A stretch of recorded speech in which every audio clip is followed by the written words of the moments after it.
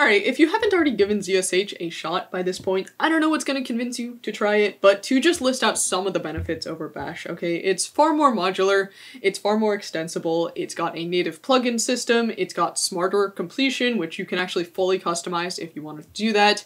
It's got more options, it's got shared history, it's got auto suggestions, tons of other stuff. Essentially, use it. Here's my configuration. I've got it in two files here, and Essentially, as with most programs, you're going to have one file that gets read first, another file that gets read second, etc. There's usually an order to which uh, configuration files are read. So zprofile here is read first, ZSHRC, which has all of the main ZSH settings, is read second. And in terms of what you'll want with settings, you're going to want to load modules and load plugins because by default, um, since it's modular, it doesn't load everything. You're going to tell it what you want it to load and only load that.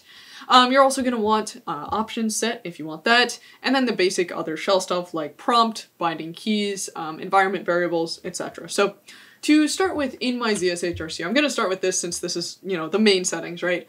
Um, I'm actually technically sourcing two other files, so sorry, I did I did technically lie there. I have two other files getting sourced, which are just global um, shell alias and variables files. Since I have these set globally, since you're probably not going to be running shell scripts with ZSH, you're probably going to want to stick to bash or maybe even dash for speed uh, with running shell script. So if you want global aliases and global variables for that, have them in separate files. So um, alias and variable files are going to get checked to see whether they exist and then sourced. And then next up, I'm loading modules. So I'm loading ZSH completion, which, um, like I said, you can completely customize the completion if you wanted to do that. You can literally write your own custom completions. Um, I'm pretty much fine with the defaults. Um, I just have a couple options set with completion. I'm also loading up colors. And if you didn't already know, ZSH actually has a Tetris module built in, along with some other fun games actually built in, but um, since it's modular, that's not going to get loaded by default. You can load it in if you want to, and then you just have Tetris automatically there in ZSH, so if that doesn't convince you to use it, I don't know what will. Anyways, um, options next up. So completion options, um, tab opens the completion menu. So if I want to, you know, cd to a directory that starts with like .c and then I press tab, I can go through and I've got, you know, my different directories here. And you can actually see it's automatically going to complete that first one for me to make it faster. A um, couple other completion options, so setting the colors there for the highlight color, etc. Um, main options, I've tried to add comments on pretty much everything here, so it should tell you pretty much what it does. Um, auto CD is really nice. You can automatically CD into a directory without actually typing CD, uh, but honestly, I still type CD from muscle memory quite a lot. Um, other options, um, better globbing, interactive comments, so you can actually comment directly in the shell if you wanted to. Um, not auto-cleaning blank lines. So if I were to like echo test there, we've got a blank line after the word test. So um, by disabling the auto-clean blank lines, it's saying leave that blank line there, don't automatically clean that. Um, and then everything else probably self-explanatory. Moving the history file into cache. Um, this is for XDG uh, specification compliancy there, which I will get to since I am kind of a firm believer in that, um, a la Luke Smith, since he, I think, was the first one to make that really popular, um, on, on YouTube at least. So anyways, XDG compliancy, I am a fan of that. Um, FZF, so if you do have FZF Fuzzy Finder, um, there's a history widget. So normally you would like press Control R and then you would get, you know, history there that you could go through. FZF has a widget specifically for that, so you can fuzzy find in your history if you wanted to use that. So you can source that here to set that up. Key bindings, pretty much what you would expect. Um, if you want to view a list of binds actually, so things that you could bind, um, just use zli-al, and then you've got a whole list here. Um, and I actually should mention, um, set-o is going to give you a list of options, so you can, you know, type that into less, have a look at the options you could set and what you have enabled versus disabled. Um, so those are probably the main commands you're going to want to know for how to figure out what you want to configure. I've got a small thing here to open um, File Manager with Control F. Probably want to comment this out if you're not using FFF. Um, and then just setting prompt. I was experimenting briefly with actually setting my prompt from pywal colors with a post-run script, uh, but I decided against that since generally, you know, just keeping uh, static colors on the prompt, I, I prefer that. So um, that's setting up my prompt there, and then the thing above the prompt there as well with the shell, the uptime, and then the kernel. And then the last thing you're going to want, um, and do keep this last, is loading up your plugins. So with plugins, you could either install them manually, um, you could go with a plugin manager if you wanted to do that. I personally don't since it's far less minimal and, you know, I like keeping things minimal.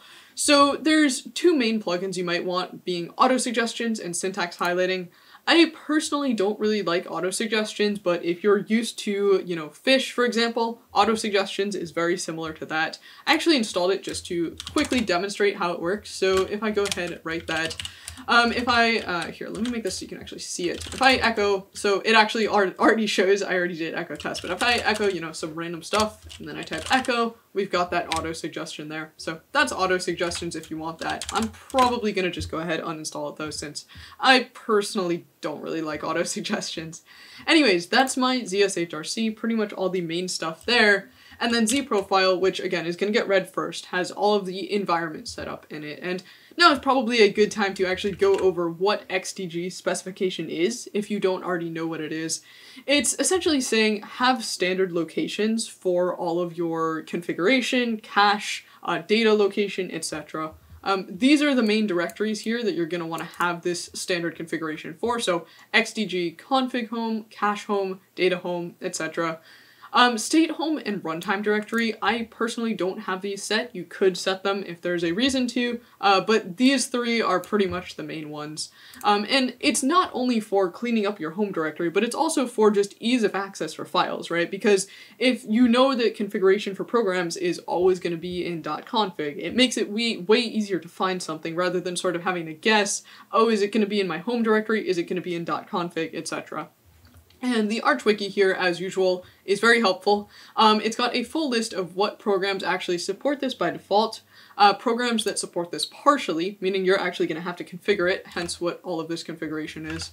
And then programs that have stuff hard-coded, which sadly some programs still do have uh, hard-coded directories, notably uh, Firefox and LibreWolf. So yeah, you're going to get a .mozilla directory if you're using either Firefox or LibreWolf. I think LibreWolf also has a .libreWolf directory, so that's going to sit in your home directory, unfortunately. And then anything else on this list uh, for the hard-coded section here is hard-coded.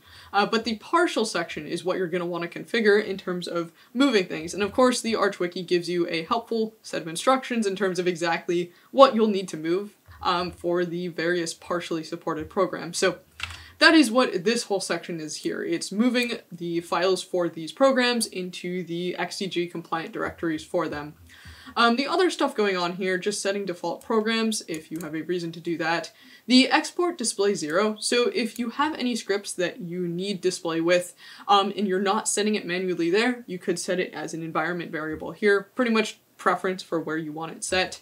Um, so you can actually set up the XDG base directory specification, just set it up here for XDG config, data, cache, or any others if you need to do that. Um, in terms of ZSH itself, so zprofile actually has to sit in your home directory. Um, you'll want either zprofile or a zenv um, that tells ZSH where to send everything else. So you can export your z dot directory, um, so .config, zsh, and then I've got my .zshrc. This is just in .config there. If you have any other ZSH files, then they can also go in that ZSH folder there, so that way they're not cluttering up your home directory. But you will need one file in your home directory for ZSH in order to essentially bootstrap everything else to the XDG directory for it. Um, I send my history files into cache. Um, this is just adding my scripts folder into the path, so you could switch this to whatever folder you um, want to be adding to your path there. Um, the only other stuff is just FZF options. Um, you can actually have a separate set of FZF options for the Control R history uh, widget there. Um, no sort and no preview are useful for that since no sort is going to allow it to just have that default history sorting. No preview since it's just command so there's nothing to preview. Probably don't want the preview window there. Um, exporting the man pager colors. So if you do want man pager colors, I actually made a whole video about this. Um, I have it disabled now since I don't really like it, but um, if you do want colored man pages, I'll link that in the description so you can figure out how to do that.